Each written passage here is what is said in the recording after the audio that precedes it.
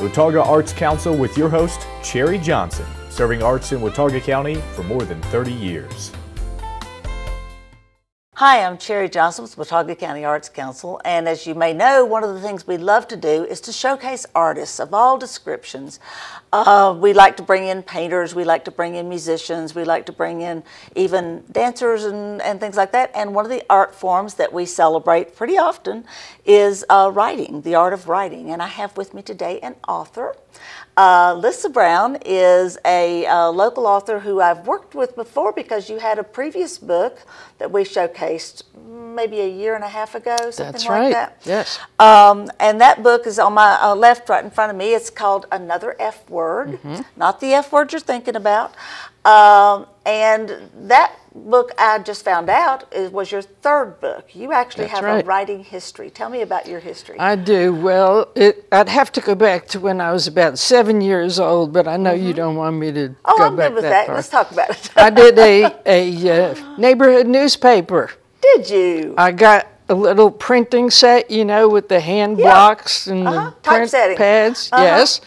And uh, I went around the neighborhood and listened to all the gossip. And I put it in my newspaper until the calls started coming in to my mother. And she had to explain to me that just because it was news didn't mean you had to put it in the newspaper.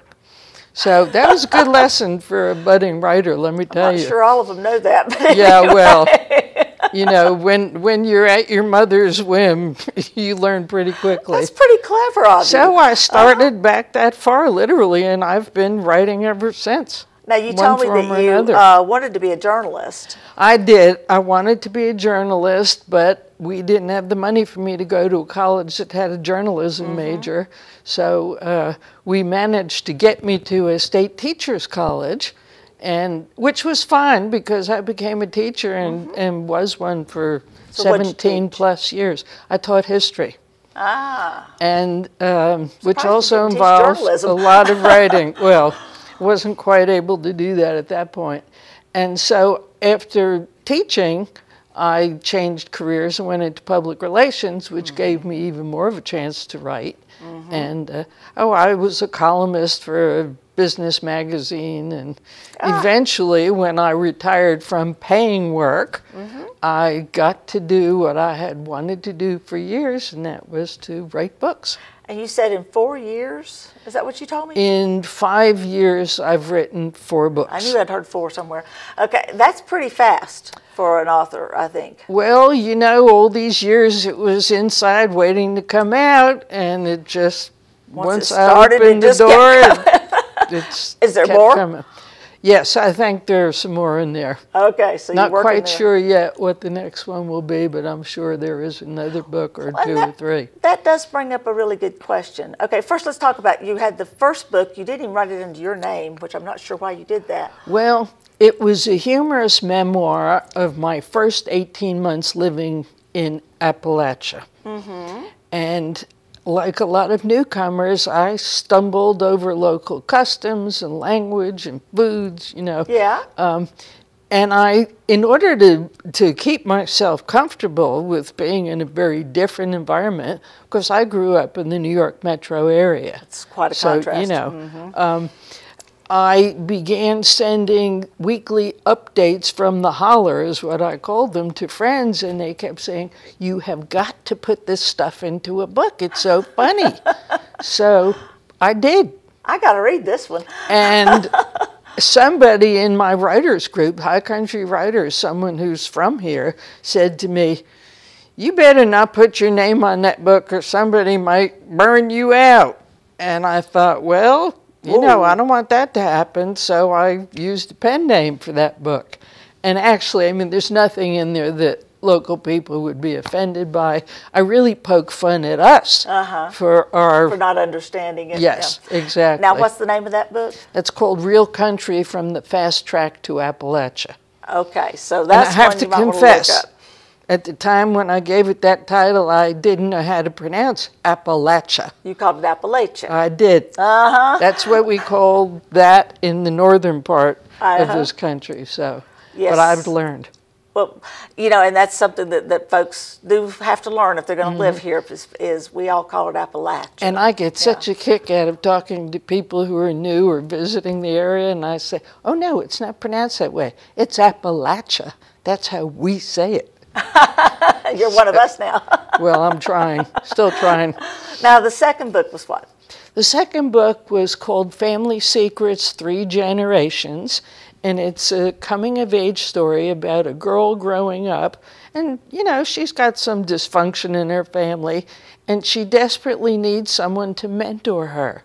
And she reaches out, I know I'm going to sound like a kook now.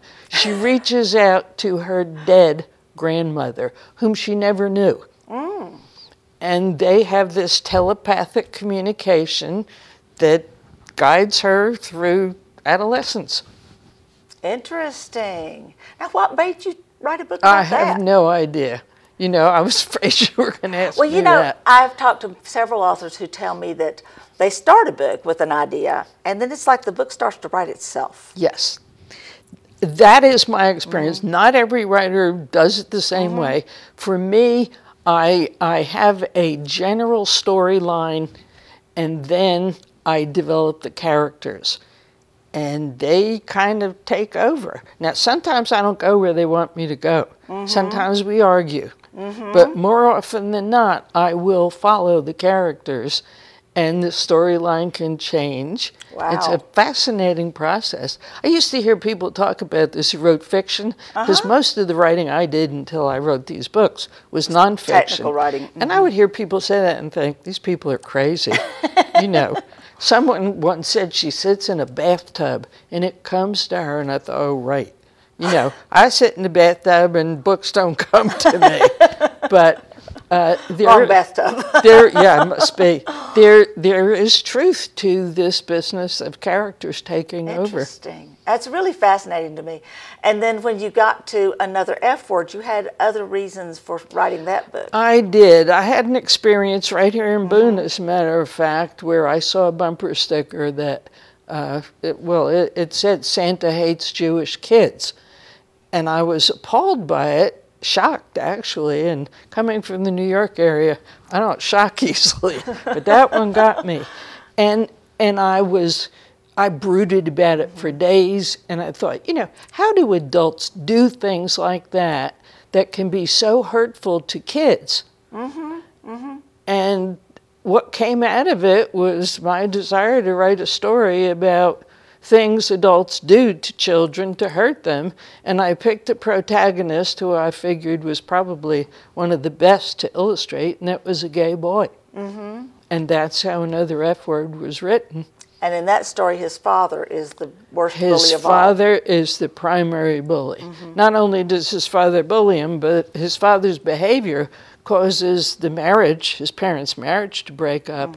And after that, he abandons his son for years. Mm. So fast forward now to Family of Choice, which is the sequel. Although, you know, I mean, someone could read it without reading the first book. But I do warn people if you read Family of Choice before another F word, you will ruin a major plot twist in another F word. Yeah. But, you know, that's. So read it in order if reader's read both choice. um, and, and Family of Choice deals with several issues that I think are universal to uh, all of us, really. Mm-hmm. And that is if someone has hurt us really badly, can we find it in ourselves to forgive them? Mm. Do they deserve a second chance? You know, and the answer is going to be different for, Right. for you and for me and others. Um, but this book deals with Rory, the character. He's now grown, he's a physician. And he's living, he's moved from Tennessee, where the first book is set. He's living now in Baltimore, Maryland. And he has a partner, and the partner has two young children. And Rory has to decide whether or not to legally adopt these two children. And when he wrestles with that decision, all this stuff from his past comes up. Mm-hmm. And he, he realizes he's hesitant because he doesn't know if he's good fatherhood material. He didn't have a very good role model. Mm-hmm. And so he's got three new F words to deal with fatherhood, family and forgiveness. And his challenge is will he, can he forgive his father mm-hmm. if he chooses to go down that route? Right. Will he consider letting him back into his family? That's a big decision. It's a very big decision, and you know, it's really about second chances.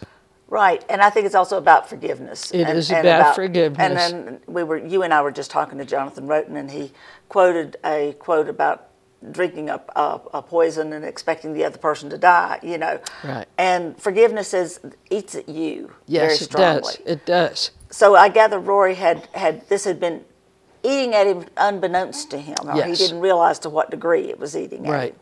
So he has to grapple with that. Mm-hmm. And with- exactly. yeah. And, that's that's a tough mm-hmm. decision to make. And then He actually he is thrown into contact with his father when they jointly inherit property. Oh. So he has to deal with him one way or another, either face to face, through a lawyer, or somehow. Mm-hmm. But they have to resolve some issues around this property. So even without the catalyst of having to make a choice about adopting the children, he still would have had to have figured out how he was going to deal with his father.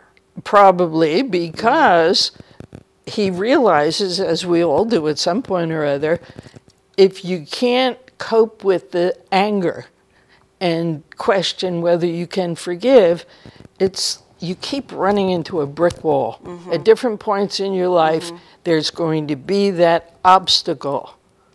And if you can't breach it, mm-hmm.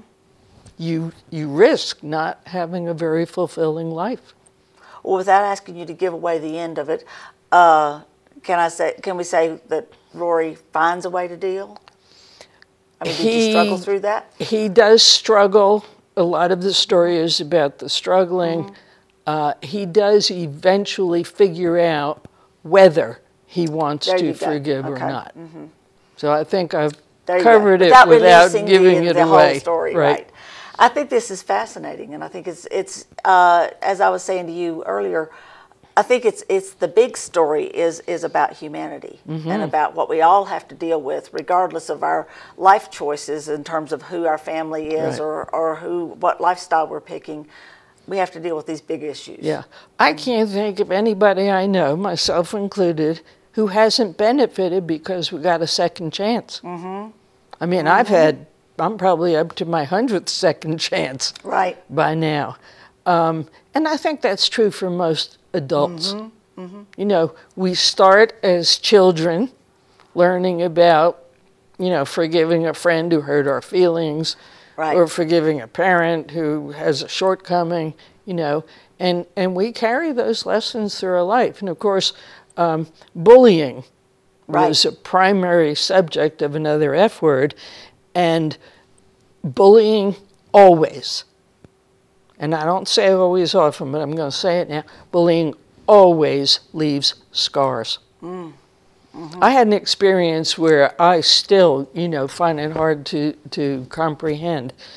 I wrote another F word.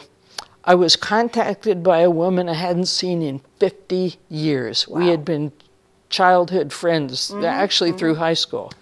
Close. You know, we double dated, we went to the same parties, we hung Right. out.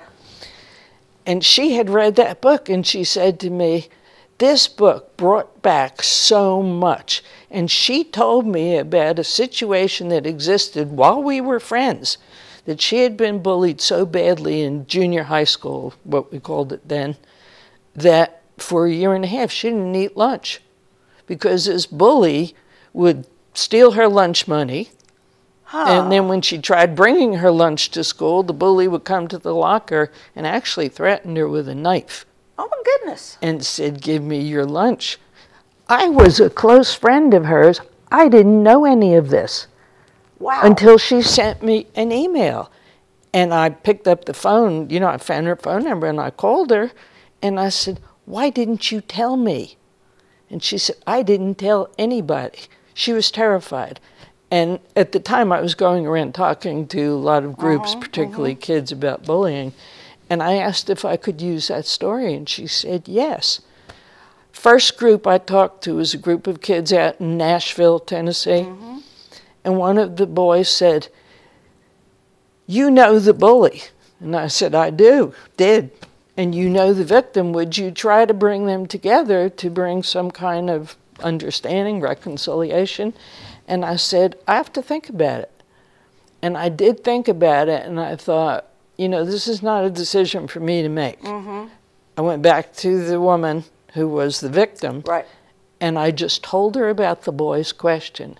And instantly, she, I could hear the fear coming back after 50 years. She said, Not on your life. I want nothing to do with her. It just so happened through mutual friends, I knew where the bully lived. Uh huh. And presumably she, you know, quit Got rid of the doing that, hopefully. Yeah, uh-huh.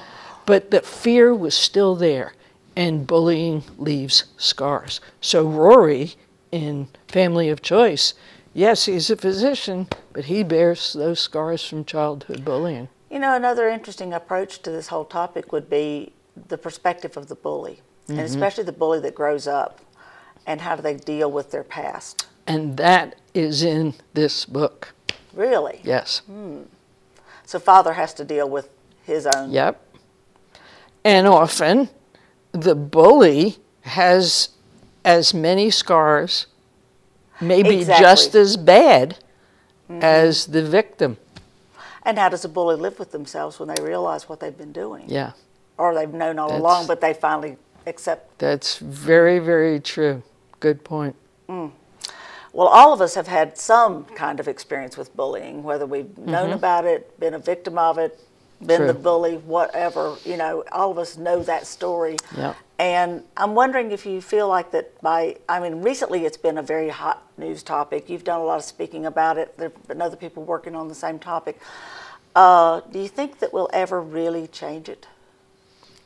I hate to sound a negative note, but there seems to be something in human behavior where people who themselves have been hurt in some Right. way or another can only feel better temporarily if they've got somebody else that they can stand on, step on would be more appropriate. Um, I see this too often. I see it in government. I see it, you know, you name the venue. Right. I really don't think it's ever going to end. What I think we can do, particularly with young people, is raise awareness. Mm-hmm. You know, true, it's hard to make a 10 or 12 year old child really feel compassion for somebody who is very easy for them to pick on Right. for whatever reason. Right. But most kids, you know, you can get to them and at least get them to understand, you know, you are inflicting pain. Mm-hmm. You know, if you can get them to put themselves in the shoes of the victim, Right. you're inflicting pain. And I mean, suicide among kids Well, and I was thinking what you just now said about the is rampant. talk, talking about the bully, but looking at the eight-year-old that is being bullied, Yeah. and will they really realize that they can talk about it? Yeah. You know, or are they intimidated like your friend mm-hmm. and don't talk about it? Mm-hmm. Yeah. And carry this. The important thing for us as mm-hmm. adults is to be aware. Mm-hmm. I mean, there are signs. Right. You know, if you're a parent and you see a kid's grades go downhill, or you see them have stomach aches every Sunday night, or, you know, Yeah. number of things, you know something's wrong. Right. And something's happening, maybe not in your home, but something's happening in school. Mm-hmm. Mm-hmm. And unfortunately, I mean, school's a place we all go and we get enriched and, and it helps us be successful as adults. But middle school years Are rough. are tough. They you know, when you think back to your own uh-huh. experience, Mm-hmm. these kids can be brutally cruel to one another. And with internet, it's even worse. Facebook, and all the other other social media, there's no break from it. Mm-hmm. They go home, and it's not over when they get off the school bus.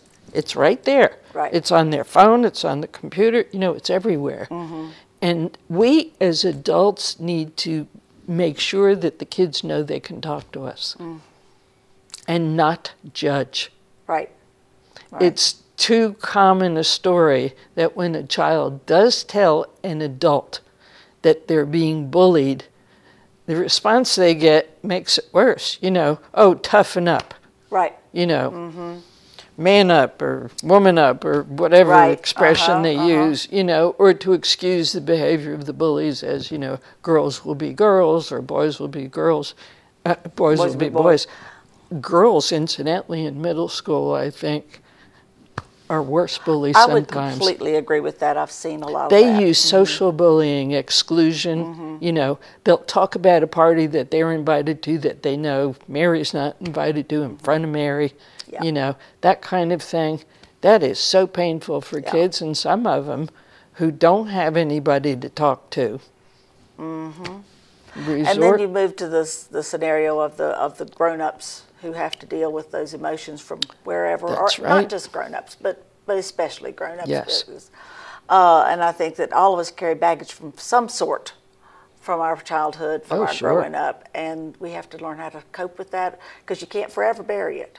you can't bury it, and the the ideal thing is to be able to take it and turn it as, into a wisdom Mm-hmm, that you can use in a in a productive way. Exactly, exactly.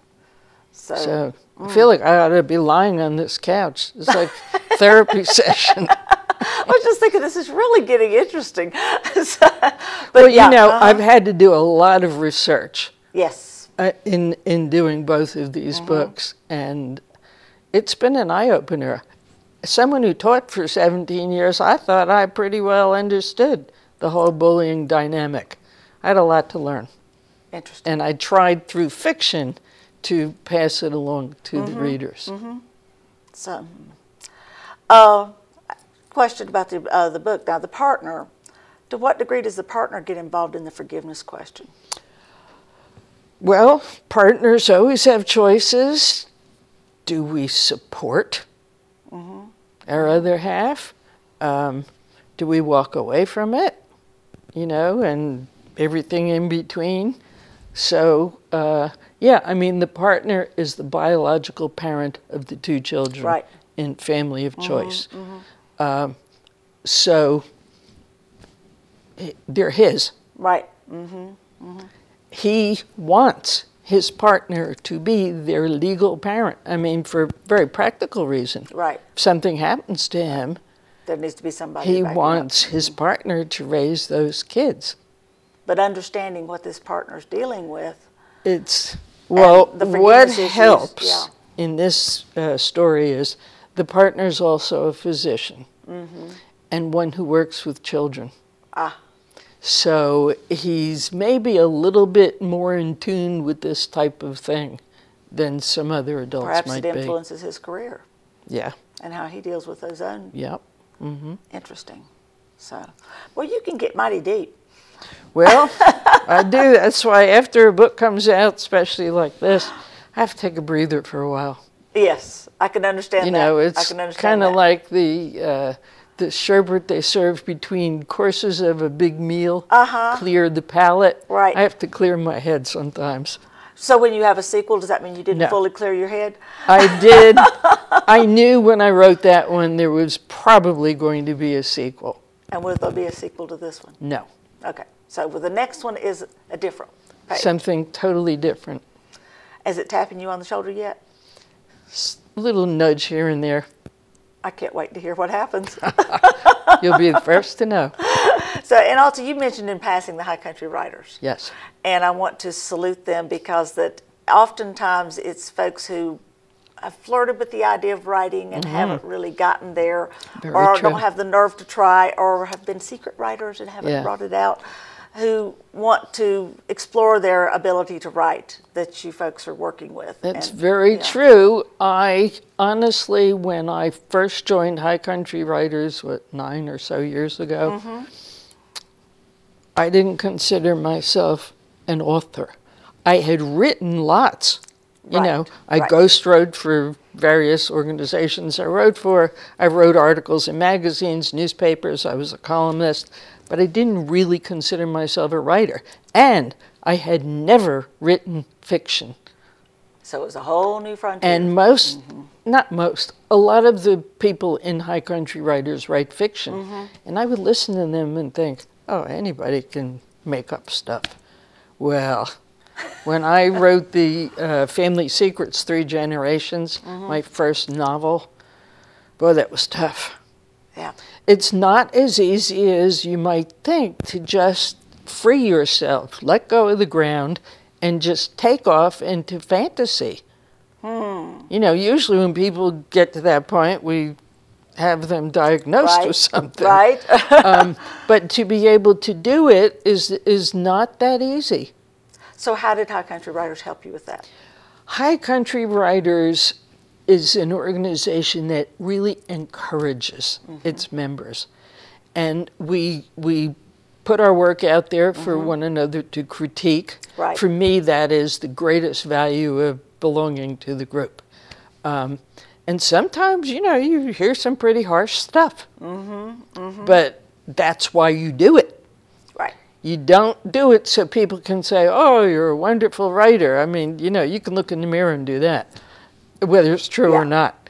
But they these are experienced writers, all different levels, and they'll tell you what's good or not good about what you're mm-hmm. doing. And beyond that, they offer classes, They did. Mm-hmm. instructional sessions that are the how-to mm-hmm. of the craft. So it, it's a great organization. I, I think it was one of the best things I did when I moved here. That's great. Was to find that That's group. Great. That group uh, meets uh, sometimes at the library and sometimes at the Blue Ridge Art Space, depending on what they're doing. Right. And you can contact them. They have a website, High Country do, Writers. right. And uh, you can also, if you're if you're lost and you need to find the High Country Writers, give me a call and I'll connect you to the right Mm-hmm. people. But uh, I've been really um, pleased to have that connection.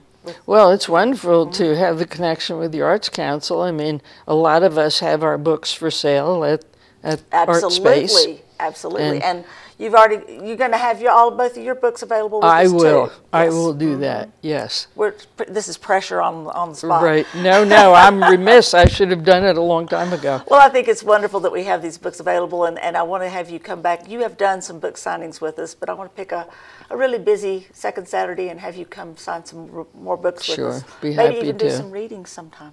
I'd be happy to. I think that'd be kind of fun. We tried a reading at our last second Saturday, and it went very well. Oh, good. So we might just be flirting a little more with that idea. Okay. So, okay. Well, thank you for joining us. Thank you for sharing so much about your books. Well, thank and- you for having me. It's always a pleasure, Cherry. Thank you. Oh, and we didn't say one thing. Where can you get the books? The book is available at Amazon.com, both books in paperback format and As Kindle. Yep. And also, when you go to Amazon.com, I'm going to throw a little sidetrack in here. Uh, there's something called Amazon Smile. Amazon Smile is an aspect of Amazon.com. You don't lose your Prime membership or your connections or even your cart that you might have in Amazon. But if you hook up with the Watauga County Arts Council through Amazon Smile, then every dollar you spend, we get a small percentage of that dollar, and that really, really can help us. So I encourage you to link to the Watauga County Arts Council through Amazon Smile and then go and purchase a couple of books. Great. Thank you. All right, thanks again. And join us, uh, check the Arts Council's website, watauga-arts.org, for information about this and so much more. Watauga Arts Council with your host, Cherry Johnson, serving arts in Watauga County for more than 30 years.